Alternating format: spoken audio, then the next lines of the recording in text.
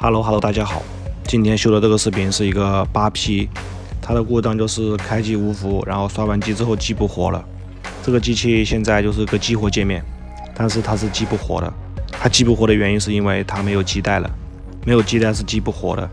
然后它这个机器是很很亮的机器，真的特别新特别亮，用了一年多了还保护的这么好，小哥哥挺厉害的。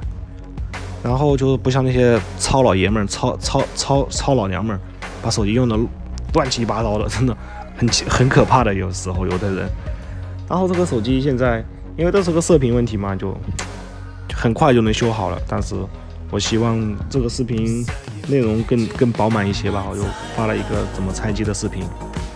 然后如果我希望这个拆机的视频呢，能帮到你们，真的是。这个拆机视频真的一刀未剪的，只是快进了一点而已。其实你们拆的时候只要注意排线，就是开这个屏幕开起来的那个那个那个间隙不要太大了，不要伤到排线了。然后屏幕上面那个地方呢，就有的时候胶粘的比较紧，你就需要用指甲呀，或者用用那个嗯，就比如你买电池啊，你买电池换电池，电池回来的时候不是有那个背胶吗？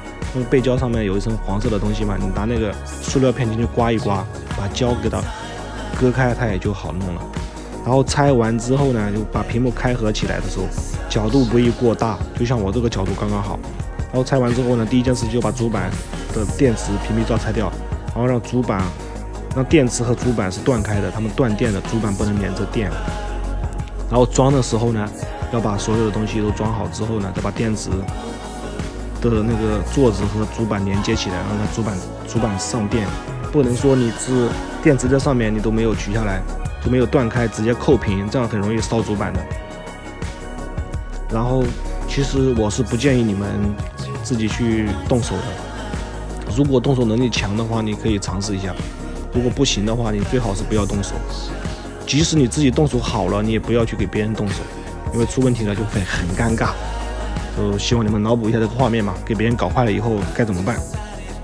然后这个板呢是一个 MIS 的板底来的，然后就是这个板呢，它的它它你不修的时候，它都可能会出问题。比如说你一加热，它可能就会不开机了。所以说我就跟这个老铁沟通一下，跟这个小哥哥沟通一下，说了这个机器的风险。他他和我们大部分人的小伙伴一样，都说你就修嘛，反正我也不懂。你就看着搞，反正我就是相信你。这种，这种好难啊！这种人，这种人特特别可怕。他说要是说，那我不修了，你给我还回来吧。这这种倒没没没所谓的，就怕那种，那我就相信你，我也不懂，你别说这么多，你就干就对了。反正不开机就不开机了吧。其实这种压力，心理压力真的很大的。他不像同行的，我跟你说这个机器多少钱，有风险，修不修？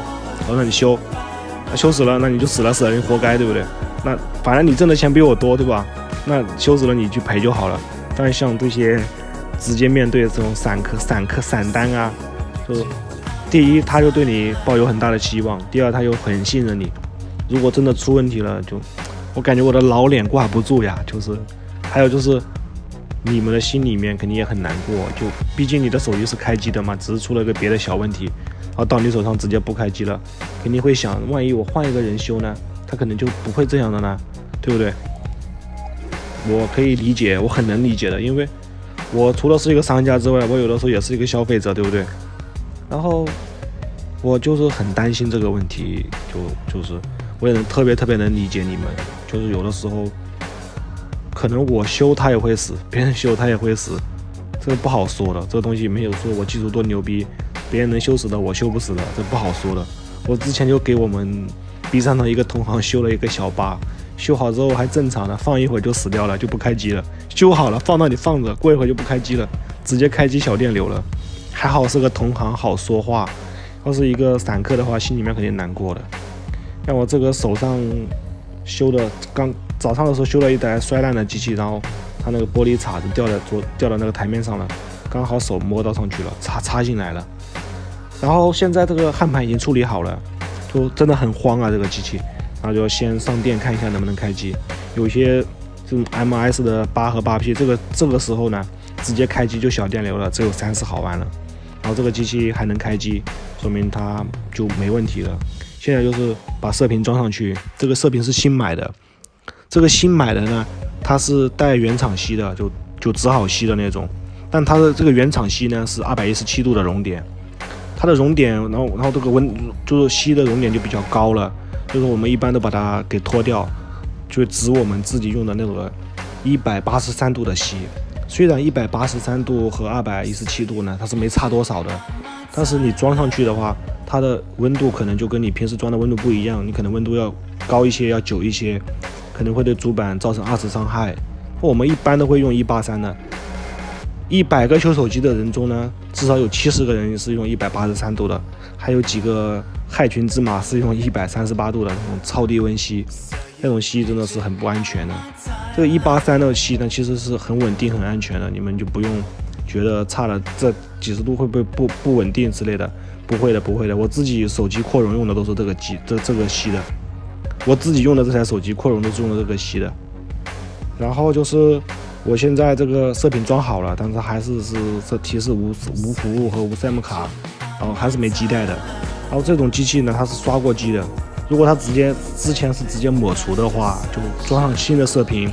它就会出来串号，出来基带，然后就可以激活。那这个机器是因为刷过机的，刷机之前就没有基带，所以你把它装好之后呢，它系统还是读不到基带的，必须要重新刷遍机，它才能有基带出来。然后现在就装在我的车机壳里面刷个机，等一下的话，刷完可能就有基带了。然后就是今年快过去了，最后一个月了，就今年最大的收获就是。在 B 站上认识了你们这群很可爱的一个小哥哥小姐姐们，有些人给我送烟，有些人给我小哥哥给我送烟，小姐姐给我买个棒棒糖，给我买一个，也有小哥哥给我买个烟，买个棒棒糖或者买个小零食，一起发过来的。